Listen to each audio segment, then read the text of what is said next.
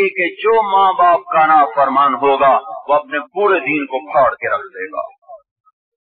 اس کا سارا دین پھٹ گیا، نہ نماز، نہ روزہ، نہ حج، نہ زکات کچھ قبول نہیں ہے، جس نے ماں باپ کو تنگ کیا، اس کا دین پھٹ گیا۔ اس کا دین پھٹ گیا۔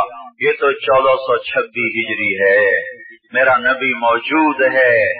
مدینہ روشن ہے۔ آج بھی اس وقت بھی اس وقت زیادہ روشن تھا کہ اپنی ذات موجود ہے۔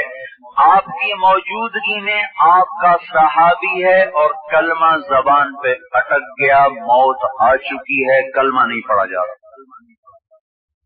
صحابی جانتے کون ہوتا ہے؟ ہاں ساری دنیا کے ابدال، خطب، غوث کٹھے ہو جائیں تو ایک صحابی کے بدن کے ٹوٹے ہوئے بال کے برابر نہیں ہو سکتے۔ یہ صحابی اور کلمہ نہیں پڑھ سک رہے اور اللہ کا نبی خود موجود ہے۔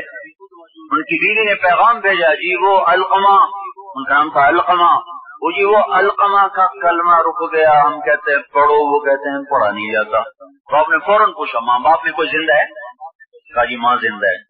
کراضی ہے کہ ناراض ہے؟ کہا جی ناراض ہے۔ تو آپ نے فوراً ان کی ماں کو پیغام بھیجا القما کی ماں آؤ گی کہ میں آ جاؤں؟ کہ یا رسول اللہ میں خود آ جاتی۔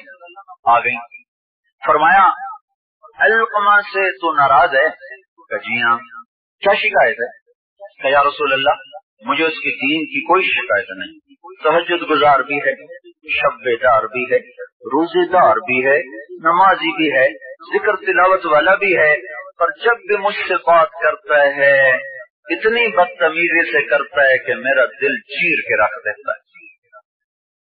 ایک حقوق کا یہ بھی مطلب ہے۔ دیکھو، جب کسی کے ساتھ آدمی کی کمی بیشی ہو جائے نا، تو دل کٹتا ہے، دل پہ زخم آتا ہے۔ لیکن سب سے زیادہ ماں باپ ہیں جن کا دل ٹوٹے ٹوٹے ہو جاتا ہے۔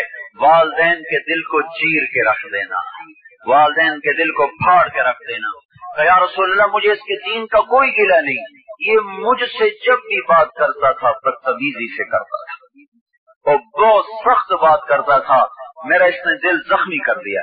آپ نے کہا، اسے معاف کر دو۔ کہ نہیں یا رسول اللہ، میں نہیں معاف کر میں نہیں معاف کر تو آپ نے کہا، بلال بلال جی لکڑیاں کٹھی کرو اور الکما کو آگ لگا دو۔